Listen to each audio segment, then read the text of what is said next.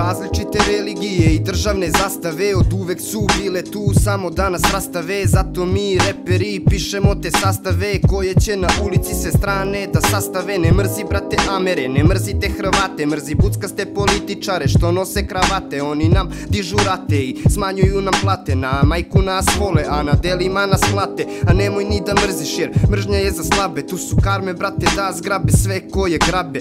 Sve što radiš drugima pre svega radiš sebi. Zato dobro pazi da ti ne ispadneš debil. I nemoj da živiš da bi to drugi videli. Veruj mi, mnogi ti se ne bi ni svideli. Živi da bi stvorio se sebi što želiš. Živi da bi nekad imao sa kim to da deliš. Moj ljuti Srbine, zašto radiš protiv sebe? Mržnja ta te ubije dok drugima se jebe. Slušaj stvari sudije iz političke stranke Voze Mitsubishi i na čelu su svake banke. Mržnja ne postoji, stvorena je za nas Bato, ti to ne primećuješ jer Koristi se s fumato, kistom razmazuju svaku nijansu boje Od postojanja sveta se uvek ginulo za svoje Sad je malo drugačije jer pitanje je nacije Nastane nesporazum, ti onda izbacije Jer je stranka rekla da vođa se izjasnio Nama oni nisu potrebni jer postupak je zakasnio Da li ti je malo jasnije kako svet kruži Da veruješ samo onome ko ti najviše pruži? Mi smo politički pioni i radimo šta se kaže Zato mi mrzimo jer je njima tako draže Izvinite za mržnju